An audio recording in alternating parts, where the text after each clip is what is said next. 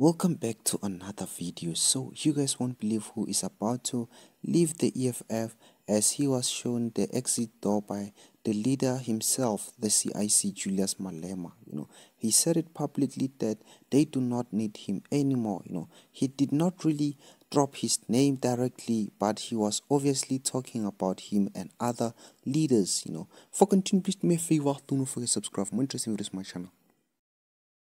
So guys, we also how the emotional Julius Malema was throwing attacks and throwing everyone under the bus publicly, you know. So a lot of people are still shocked by Julius Malema. He's currently trending over his latest, you know, uh, address to the comrades, you know. So a lot of people were shocked that he was throwing some some of the comrades like Ndlozi under the bus. Listen to what he said.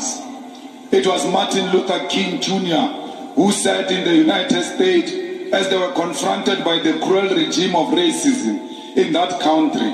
It was him who declared, open quote, in the end, we will remember not the words of our enemies, but the silence of our friends, close quote. Fellow fighters, as we face this testing moment in our movement and are confronted by betrayal of our struggle for economic freedom in exchange for personal gains, we must not bother ourselves about what our enemies are saying, but we must ask ourselves why are those who claim to be our comrades silent?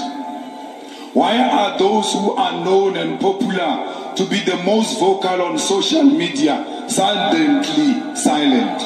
Why are their voices when our movement is under attack? Where are those loud voices? Why do they not use their platforms to speak in defense of the EFF if they are truly loyal to. So, guys, isn't this really obvious who Julius Malema was talking to or which people he was referring to? You know, EFF has a lot of public figures, guys. We all know that people who have a lot of influence on social media, likes of Ndlozi, Naledi Chirwa, and others, you know. So they are very vocal on Twitter. Now, listen to what Julius Malema said on that speech. Malema we must ask ourselves why those who claim to be our comrades silent and their wives likes a tweet from people who say joining MKP is the most solid and sound decision ever. Why is Malema monitoring Twitter history of other people's wives? Wow, guys. Yo, I'm really shocked by Julius Malema's words. You know, he's now even monitoring other people's wives yo like this man is really hurt and we can all see it you know and to really doing follow-ups on someone's wife guys. I feel like it's really uh, un- uh, inappropriate. Know he should just keep those kind of statements to himself and face the person that he's attacking like a man. If he is talking about Ndlozi, he should just say it straight that he does not trust Ndlozi.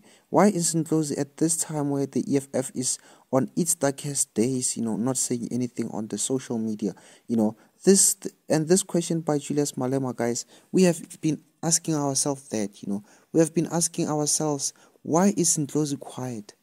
Why hasn't he said anything about this whole issue, this so, this whole saga of Floyd Shivambu, or use his influence, you know, to defend the EFF, you know?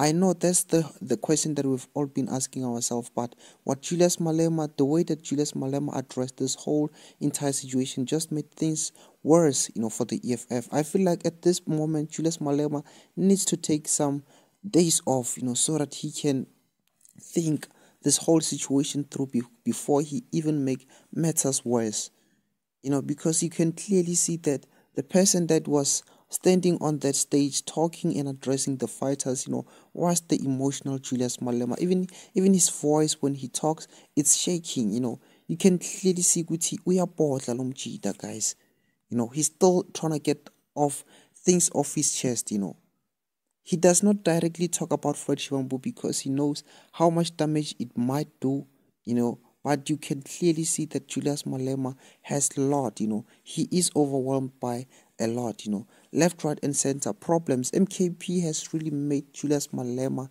you know, lose look sweat, you know. He it made Julius Malema even go crazy, you know. Julius Malema was stress was already stressing about uh losing voters and everything. The next thing he he's stressing about deputy president of the EFF. So guys, it just gets worse and worse and worse. Now, someone on Twitter went out and said and advised Comrade Ndlozi to do something. He said, Dear my brother, Dr. Mbuyiseni Ndlozi, you must submit your resignation first thing tomorrow. Here is why.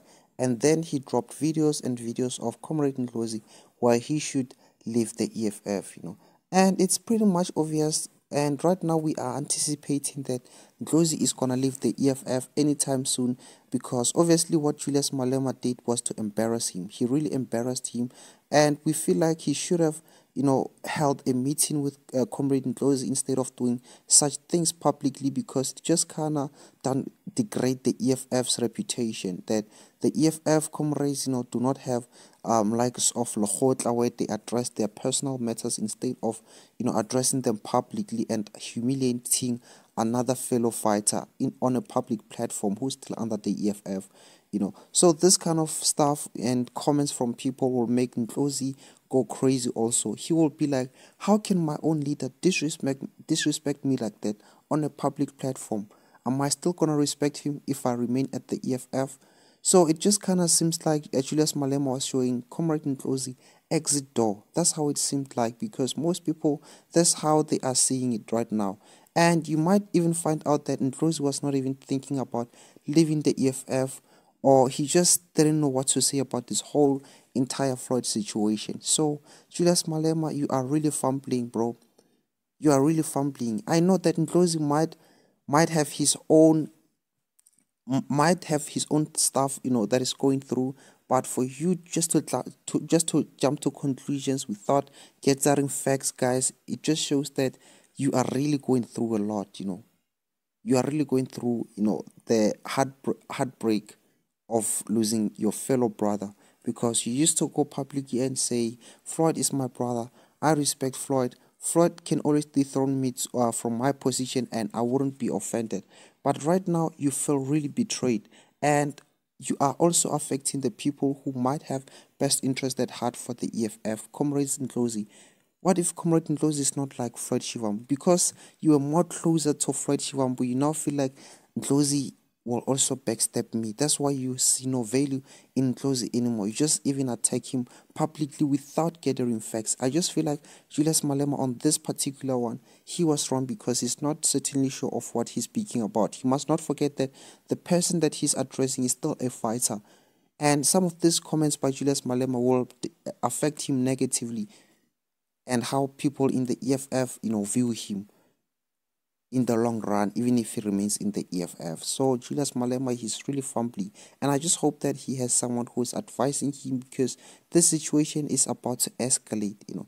And he must stop talking about Floyd Shivambu because when Floyd Shivambu responds, it's not gonna be nice, guys. I know that Floyd might know some darkest things about Julius Malema that we don't even know about, and when he starts uh, spilling beans, it's not gonna be nice. So Julius Malema must just watch out before he make matters worse. Thank you so much for watching this video guys. Your thoughts on the comment section below what you think and do not forget to subscribe for more interesting videos on my channel.